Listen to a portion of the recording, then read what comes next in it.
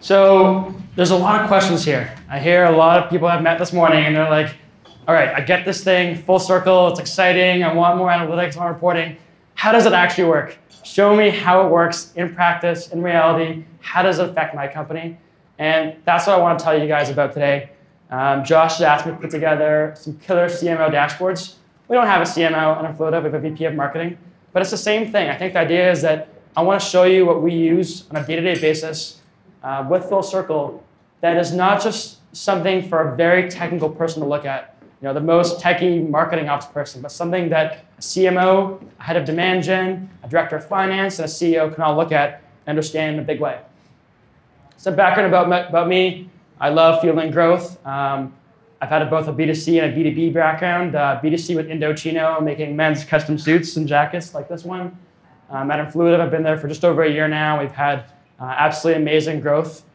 And uh, I'm also a huge advocate for Full Circle. So I love talking about them. I've given probably half a dozen referrals to Josh and his team in the last year. I'm obviously up on stage talking about how we use Full Circle. And the reason why I say advocate and why it's so important is that's what Influitive does. We kind of unleash the power of your advocates. And we have this really awesome vision that the future of marketing and sales is actually lies in your customer base and getting your customers to go out there and sell for you. And that's why we power um, these advocate programs that generate more referral leads, product reviews, case studies, content sharing, product feedback, whatever kind of marketing asks you have from your customers, uh, we're powering that. Uh, we're based in Toronto. We've got uh, more than 200 customers using us now, including some of the biggest and fastest growing software companies in the world. So I want to start with our goals. This is super important. Like uh, the SiriusDecisions uh, presentation this morning, everything starts with goals. I want to share with you our goals as a marketing team at Influitive. We've got uh, seven people on our team right now. We've got a very, very aggressive target. We want to grow 300% this year. Um, you know, our CEO is obsessed with growing as fast as possible. He wants to raise as much money as possible at the highest valuations. That requires tons of growth. And you know, my job is to really focus on new logos. We want to turn $1.4 million in marketing programs budget into 289 new logos, new advocates. They're going to make even more referrals for us. And if you look at it, 70% of those, our target is to be sourced by marketing. So a huge amount is coming from marketing campaigns uh, in a very, very big way. Um, so how do we do that? And it all goes back to Full Circle. We've been a Full Circle customer for about a year and a half now. And I want to give you the foundations of how we started with Full Circle. Um, your cases might be different. It might be a bigger team or more advanced. It might be the same stage as us. But I think understanding our thought process will really help you determine um, you know, how Full Circle can work with your organization and your marketing team. So this is kind of the foundation of Influitive when we started. We are a fairly new company. We had a product around for about two years, but it was still in the very early beta. Not a lot of customers or marketing data. So we've done, we had campaigns, we had a small email database. Um, we were doing some stuff in marketing. There was a few people in terms of headcount, but it wasn't you know, a fully sophisticated, high performance, functioning marketing team. We were very data driven. So our founder uh, and CEO was the founder and CEO of Eloqua uh, created the marketing automation space and the whole category on marketing automation. Our team is uh, largely ex-Eloqua, our VP of marketing, spent seven years at Eloqua talking about data-driven marketing and trying to figure out all the analytics and revenue and dashboards around that. So we had this team that was fairly new, uh, you know, a, a new company, um, and a very strong background in marketing, uh, marketing automation. And you know, what we like to say in Influitive is every good B2B marketing story starts with a referral. That's what our software does, helps you get more referrals. And, and ours came in the form of Xactly. Um, so uh, we had a new VP of business development, uh, Chris Newton, who joined us from Xactly, where he was VP of marketing. And he had heard about this new tool. It was called Full Circle. And they were going to be doing really cool stuff help measure the accountability and basically create an accounting system for your marketing. So we heard about it, and we thought, okay, let's try it out and see how it works. So there was three things we liked about Full Circle um, that really influenced our decision of why we wanted to use in the first place. And I hope it's a big part of why you're either using it now or considering Full Circle.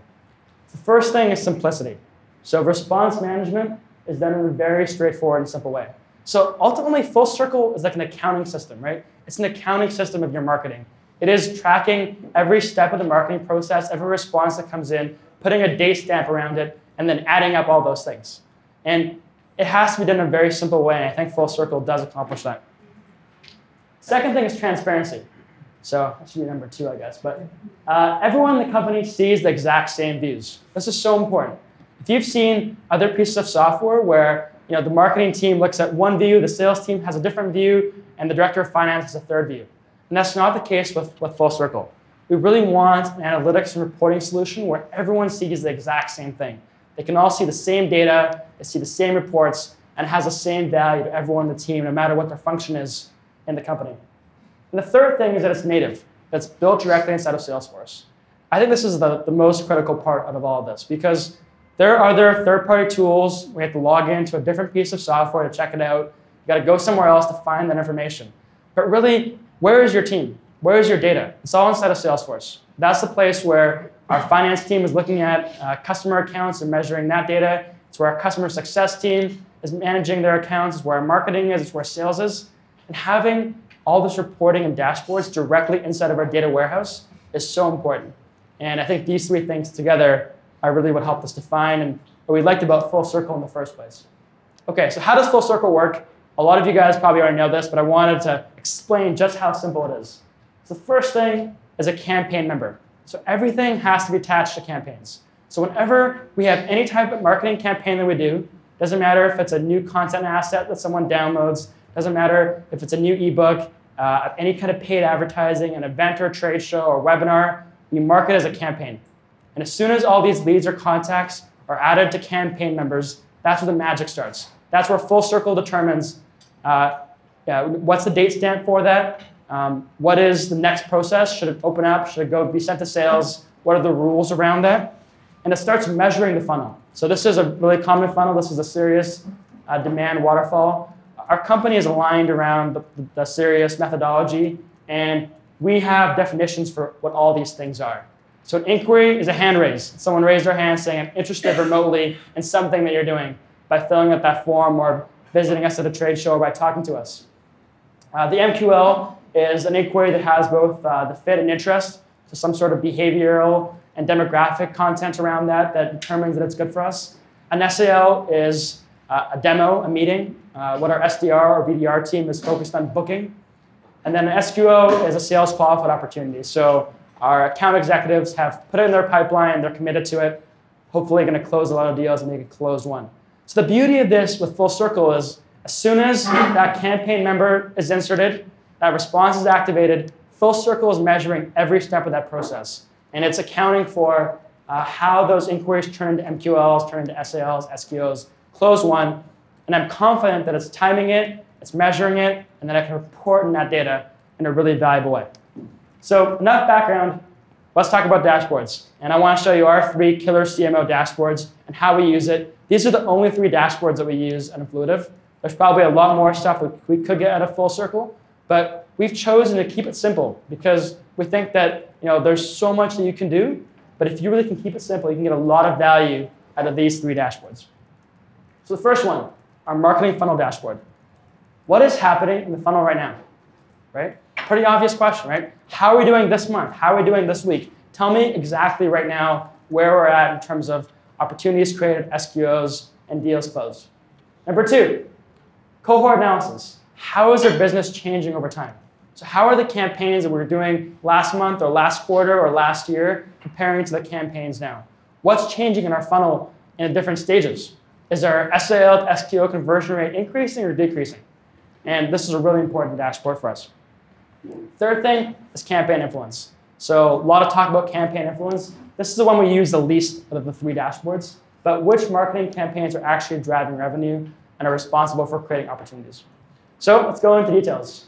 This is the exact screenshot of our first dashboard. We call it Revenue Metrics 2.0. And this is our dashboard that says what's happening to our business right now. I know it's very small, you can't see what it actually says. I'm gonna show you some close-ups. So the top part is what I call Demand Gen Central. I'm the head of Demand Gen and Influitive. This is what I'm gonna be judged upon. This is what determines whether I get raises or promotions or I get fired. And I love having this data because this is what my VP of marketing looks at and says, uh, he said on Sunday, this is, this, is, this is this month's data from Sunday. And he says, Alex, we're almost halfway through the month and you're only at 18% of SALs created for this month. So you know, these are our targets. How are we hitting them? How are we performing on achieving those targets? And this is the data that gets reported not only within inside of marketing, but our director of finance looks at this every single Sunday night, emails it to all of our leadership team and all of our investors on Monday morning. so they have all this latest data around our weekly demand gen targets, and if we're on pace on a monthly basis to be hitting those targets. Cool thing is, is it's not just uh, it's not just the dashboards. I can actually click on any one of these and get a more detailed report about what's happening. So when I click on this report here, I can actually see a breakdown uh, per campaign name of what's going on here. So I can see, okay, here's the, you know, here's all the inquiries that generated this month, so in March. But here's the actual breakdown on a weekly basis. So I had a, a bad first week, and then I picked it up, and then this week hasn't had enough time to process itself. But I can break it down by individual campaign name. And again, everything comes back to the campaigns. So I probably have maybe 100 new campaigns that I create inside of Salesforce every single quarter that are drilled down to individual content assets, events, trade shows, initiatives that we're doing. And I can break down the inquiries based on, this, on these campaigns. Next, this is the justify your existence part of that dashboard. So this is the one that we're talking about before, you know, how much is marketing sourcing, how much is sales sourcing. And we've got data by on SALs, so opportunities created, and also SQOs. And we don't fight over the source of things. So if a lead was opened up due to a marketing campaign and converted to an opportunity, that's marketing source. Now, if a salesperson created that lead, that's sales sourced. If a marketing person, if a marketer, uh, sorry, if a lead responded to a marketing campaign, the salesperson talked to them, and that response said, talk to my VP instead, and the salesperson created that encounter and opened up the opportunity with a new lead, that's sales sourced. So we're not trying to really fight over it very much here. We're very aligned as a marketing and sales team about the total number of opportunities and SQOs we want to create. But this is a great visual breakdown of saying, okay, in the last year, how much is coming from marketing? Uh, in our case, about two thirds. And then how much is coming from other sources like sales, our BD and partner team, other and employee referrals. So the other thing we have in that dashboard is we have some really key business metrics. So for us, referrals are really huge for us. Our software creates referrals for B2B software companies. And we have a customer marketer on our team whose job is to create as many referrals as possible. How do we track referrals? Through a campaign. Really simple, right? Anytime a referral comes in, they get added to a referrals campaign. And this dashboard shows on a regular basis how many referrals are we generating every single week. And for us, it's one of the key business metrics that we have in place. Uh, another key metric we have in place is around key campaigns, open opportunities. Uh, we actually go into more detail about this in the campaign influence dashboard, but this is at a very high level. Okay, show me how many op open opportunities we have from our campaigns. And again, this has good insight into what kind of campaigns we're actually doing. Um, you know, contact us, the one I want to have even more of. That's at the top, and that creates the most opportunities. But referrals are a close second. This is an ebook asset, another ebook asset, an SDR, outbound campaign, watching a demo video on our website. All this stuff is really broken down. It's very easy to associate all those assets or campaigns to actual opportunities that are being created. Okay, dashboard number two, marketing funnel conversion rates. Uh, this is actually my favorite dashboard. I love it. And the reason why I love it is I think B2B marketers don't use it and they don't understand why this is so important. so I come from a B2C world previously with Indochino. It was e-commerce, men's custom suits, uh, very fast growing business. And in e-commerce, when it's so transactional, the only way to look at data is from a cohort. Like that was just the only way to look at it. We would say, okay, how many sales did we create in January of a given month? How many customers did we acquire? What was their lifetime value that month? And then show me their lifetime value over time. That was the only way we could look at our data and say, you know, definitively, what is the value of our customers and what's happening. Now, B2B is very different, right? We have super long sales cycles. We have a lot of fluctuation in our business. There's multiple touch points and influence deals. And it's a lot harder for us to say what is actually contributing to revenue and how is our business changing over time. And this dashboard helps us answer the question of how is our business changing. Now, if you just started with full circle, you probably don't have enough of this stuff filled out. So it might be a little hard for you to say, okay, show me how my business is changing over time. But for us, we look at cohort analysis by response month. So what that means is I take all my responses for a given month and I lump them together and count them as one thing. So all the responses from February 2015, that's one category. And I want to look over time and say, from that, from all those responses in February, show me how many of them progressed to the SAL stage, the SQO stage, and the close won stage, and then compare that to other months. So this is actually telling me how my business is changing. I can break it down by all inquiries, just MQL inquiries, and just non-MQL inquiries. And the reason why these numbers have changed is we've actually changed our definitions of an MQL in the last two months based on our business logic and how that's changed. But basically, I can see, okay, this is September. How are things progressing over time? And what does that mean? And you probably wonder, okay, what business questions does that help me discover? Because yes, these dashboards are great, and cohort analysis is great, and I love knowing that 10% of my inquiries from September converted to opportunities. That's awesome. What is that actually telling me? How does it affect my business? So here's a great question. So if you look at the blue line on this chart, you can see that we were able to massively scale the amount of inquiries we're generating. So we went from a world where we had about 1,200 inquiries per month, 1,200 hand raises, and now we had 2,800. We had a really strong fall season. We turned up the paid advertising, tons of events, things improved, right? However, we also saw that the actual conversion rates of inquiries to opportunities dropped significantly. And they stayed low. It went from a world where 5 6% of inquiries converted to SALs down to 2 to 3%. That's a big warning sign. It means that maybe we shouldn't be generating so many inquiries. Maybe we don't have enough SDRs or BDRs on our team to field those inquiries. Maybe we're not doing a good enough job of prioritizing those inquiries so the SDRs know which are the strongest ones for us to follow up with. But by having this data in place, we can actually see the difference and see how the business is changing. If we didn't have a cohort analysis, maybe the amount of opportunities generated stays flat or even increased significantly. But this actually tells us, yes, you increased volume, good job, Alex, but the conversion rate went down a lot. So how can you fix your business? This is what we're attacking right now. So we're saying, okay, now that our number of inquiries is super high, what are the tactics we can do uh, from an SDR and a marketing perspective to increase the conversion rate? Number two, our SAL to SQO conversion rate. So we discovered that uh, for a long time, you know, May through August, uh, our SAL, so demo to SQO, which is demos to AEs actually putting in their pipeline, conversion rate went from about 33% up to 45, 48%, and then back down to 30. So this is amazing info for our sales team. And I went to our VP of sales and I said, look at this. One of two things is happening. Either the SDRs have really tightened up their qualification and they're only passing through demos and booking demos that are much higher quality, or the AEs are getting much more anal and they're only putting deals in their pipeline and think they can close at a much higher uh, rate. But having this data shows us uh, definitively that something is changing in our business, right? The, the, the, the, the interaction, the change from an opportunity to a sales qualified opportunity is changing. And this data shows us, uh, from a cohort standpoint, what those changes are. And talking to our VP of sales, this is really valuable data for her to help coach our SDR and account executives on you know, whether they should, in fact, be tightening up their restrictions or they should be passing along more demos or whatever else. Number three, is there new lead scoring actually working? This is a great question. So because uh, we have uh, campaign members, uh, we're able to tie other pieces of data to that campaign member and to that response. So for example, in August, we launched a new lead scoring system. Uh, we built it ourselves internally, very simple. We graded people on a behavioral and demographic score, and we put them in one of four buckets. Funnel one, funnel two, funnel three, and funnel four. Now, how do you actually know if that's working?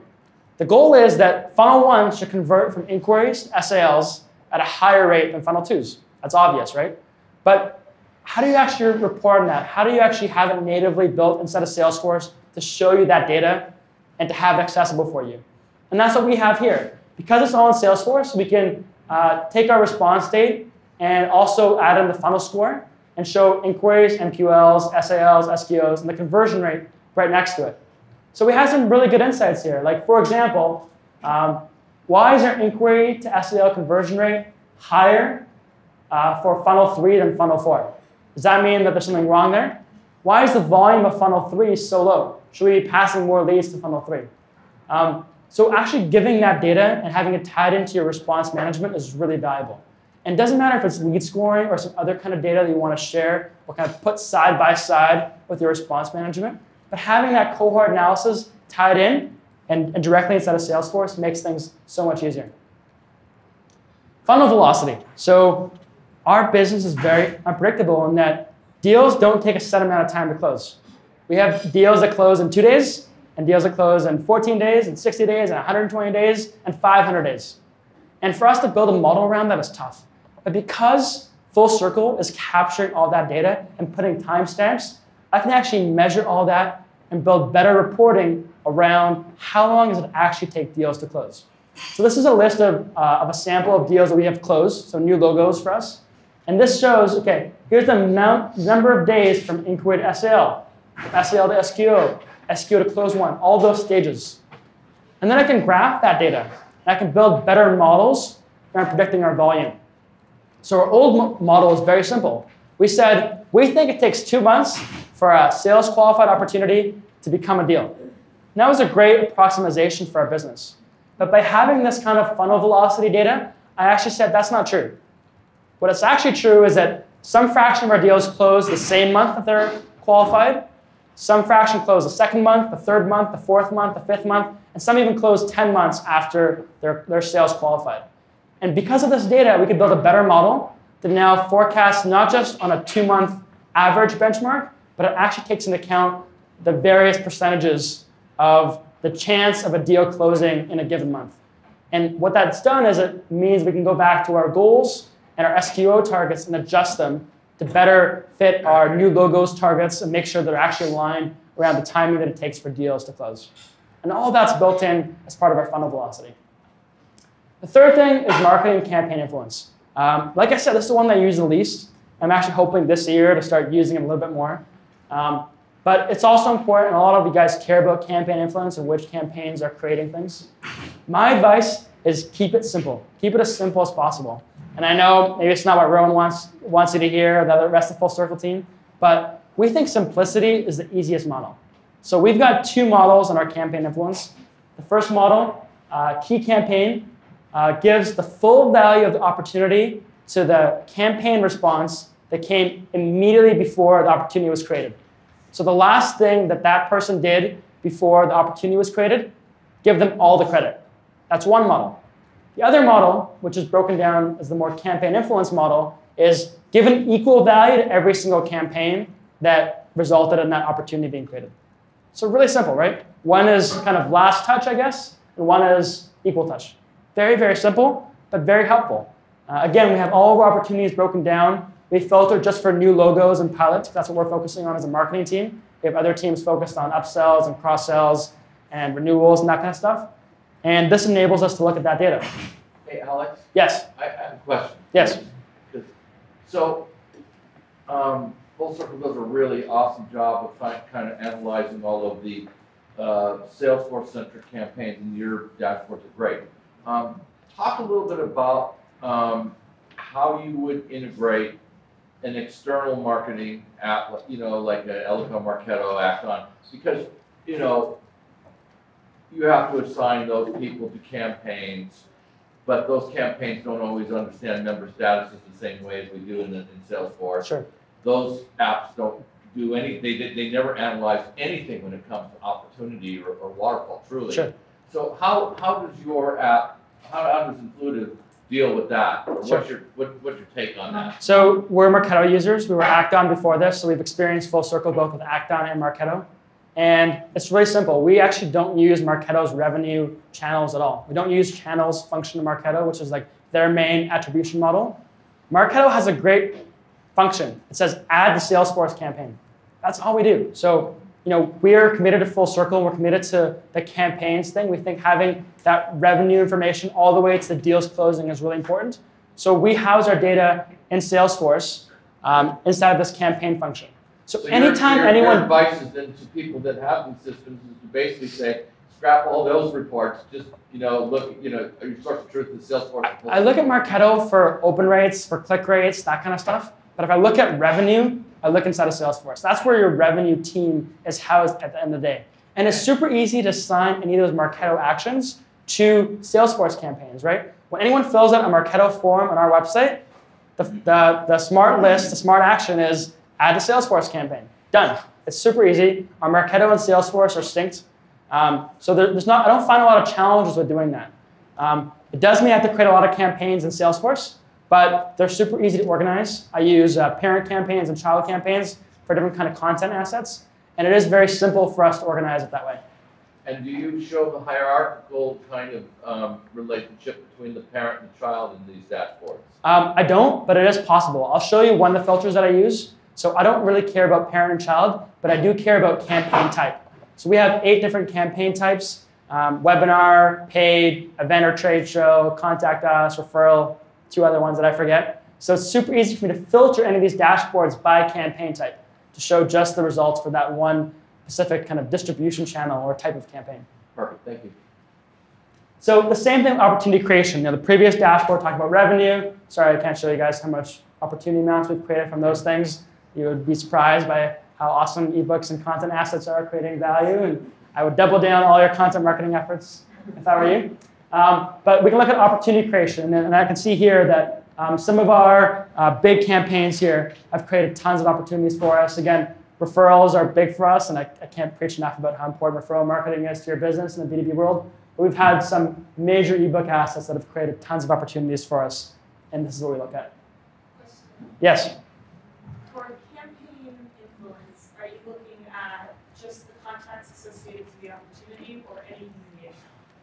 Uh, just for that opportunity. Yeah. So the, the, you know, someone responds to a campaign, they get opened up. If the SDR creates opportunity from that, that's what's going to get the influence from it. Uh, are, new, new, are net new names responding to my campaigns? This is a really good question, right? So you're wondering, is my database actually growing? And again, with that data built into it, one of the, features of our campaign influence dashboard is showing you that data. So the answer is, in our case, yes. So um, you know, the, green, the green line shows net new names versus old names. And if, if the green line was getting smaller, I'd be worried about our business. And in fact, because we're trying to grow 300% this year, I think the green line probably has to be even higher for us to actually achieve that growth. Because Full Circle is ultimately an accounting system for your marketing, uh, it knows whether a name is a net new name, whether that response is a net new name for your business. Okay, and this is what I was talking about in terms of easy to use filters. Because everything is in Salesforce, we just have uh, filters built in for all these reports. So if I want to just filter by campaign type, I can. So show me that cohort analysis, but now look at just paid channels, or just our events or trade shows. Or show me our campaign influence, but just look at you know, webinars and how webinars, out of all of our webinar campaigns, how do they contribute to, uh, to campaign influence. Uh, same with response date. So which month, which quarter, all that stuff is super easy to filter out. And again, I, can't stress enough how important having it natively inside of Salesforce is for us to achieve all this data because we can cross-reference it with other types of things, right? Suppose I want to look at just pilots versus new logos. I can because that data is in Salesforce. Suppose I want to look at just you know, types of, of, of company size, uh, what, what Xactly is doing, looking at mid-enterprise versus enterprise. That data is in Salesforce, so I can easily cross-reference it, and all these reports can be customized to show just that specific filter. Okay, Enough about dashboards. Why do we actually use them? The end goal is not dashboards, right? Like, I don't really don't care about dashboards. I'm, I'm passionate about dashboards because of what they enable me to do. And what they enable is they enable us to do awesome marketing campaigns. So if our finance team and our CEO didn't trust us to spend the money well, to report on it, to have the right metrics in place, to be able to see all these dashboards in a transparent way, to be accountable to our revenue, we wouldn't have this much money to spend. We couldn't do super creative campaigns, right? And this is the beauty of, of, of, me, of a full circle for me. It's the transparency and trust that it builds in our organization. Our director of finance loves full circle. She's not interested in marketing whatsoever, but she loves going through her reports. She asks me questions about them all the time, and she comes up to her own insights based on our three dashboards. She sees the exact same dashboards as I do, and she's able to use that in a really powerful way. And ultimately, the goal is for us to do more creative stuff. So when we want to do a, a late night style talk show, like we did last year, it was called BAM TV. It was a really big success for us. We earned the right to do that because we had the reporting uh, to be able to show the results of it and show how it actually contributed to revenue opportunities. Number two, The most up-to-date marketing numbers at your fingertips. How many times do you need the latest data for weekly results, quarterly results, board reviews, board decks, investor meetings, all that kind of stuff? All the time, right?